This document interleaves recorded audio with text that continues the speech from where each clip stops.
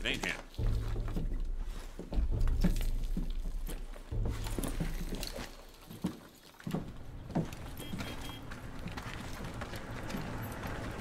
This guy had some real interesting shit on him.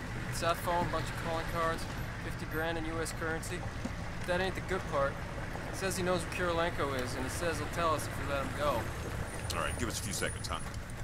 Hey, how long you reckon? Ten seconds. Five.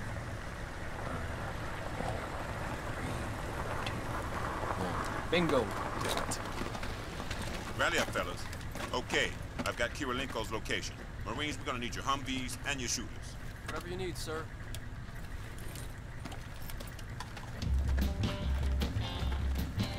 What'd you say to that prisoner, Sergeant? Nothing.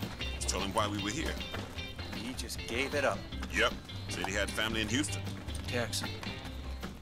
Sometimes people are just people, man. Mount up.